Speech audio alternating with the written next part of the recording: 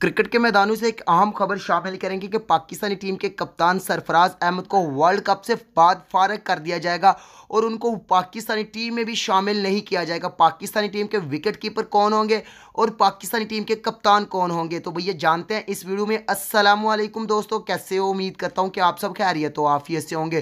تو بھئی میں مسیب علی اور آپ دیکھ رہے ہیں مسیب سپورٹس یوٹیوب چینل۔ تو بھئی سب ویور سے چھوٹی سی ریکویسٹ ہے کہ اگر آپ ہمارے چینل پہ فرسٹ ٹائم آ رہے ہو تو ہمارے چینل کو سبسکرائب کر کے ساتھ موجود بیل آئیکن کو پریس کر دیجیے تاکہ سپورٹس ریلیٹڈ ویڈیو آپ کو ڈیلی بیس پر ملتی رہے۔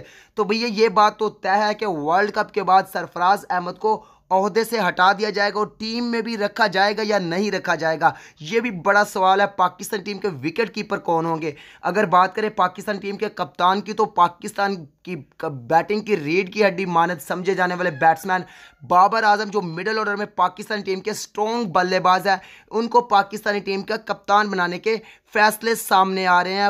بڑی نیوزیں سامنے آ رہی ہیں کہ بابر اعظم کو پاکستان ٹیم کا کپتان بنا دیا جائے گا اور وکٹ کیپنگ کے فرائض جو سار انجام دیں گے وہ محمد رضوان دیں گے، جنہوں نے آسٹریلیا کے خلاف زبردست قسم کی دو سنچریاں کی ہیں اور زبردست قسم کے فارم میں ہے۔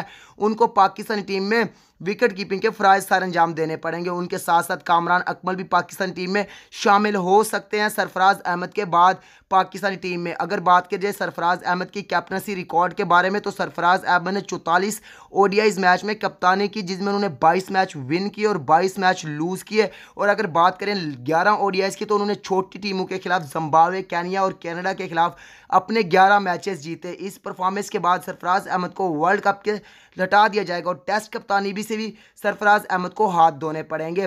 تو بھیا، آپ کی رائے کے مطابق ٹیسٹ کپتان اور پاکستانی ٹیم کے او ڈی آئی کا کپتان کون سا ہونا چاہیے؟ اپنی رائے کا اظہار کمنٹ باکس میں کیجیے، میں ملتا ہوں آپ کو کسی نیکسٹ اچھی سی ویڈیو میں۔